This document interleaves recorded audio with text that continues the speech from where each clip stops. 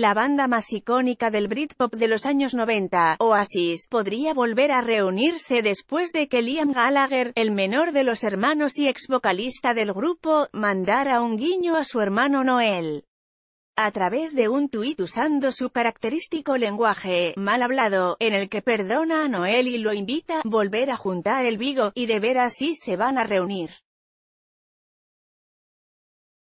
Esta petición podría quedar estancada, ya que en noviembre del año pasado, Noel dijo a la BBC que nunca jamás en la vida volvería a tocar con Oasis, y mucho menos con su hermano menor.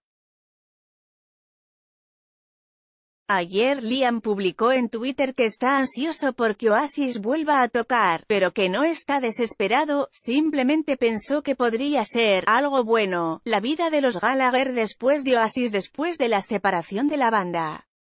En 2009, los hermanos tomaron caminos diferentes con sus proyectos solistas. Por un lado Liam consolidó su éxito con su álbum solista, mientras que Noel se mantiene en constantes giras internacionales con su banda High Flying Birds.